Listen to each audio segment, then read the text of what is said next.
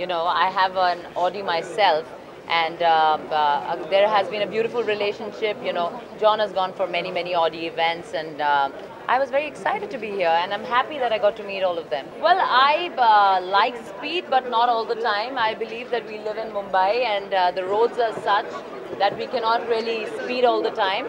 But yes, when I'm driving, like uh, going from Mumbai to Pune, you know, there, if you're maintaining the speed limit, then that kind of speed I like. But uh, every drive has been memorable in the Q7. Whether it's with John or with Narayan, my driver, he's a fantastic driver also. I will stuff only John and myself, and we are big enough, you know, and we occupy a lot of space.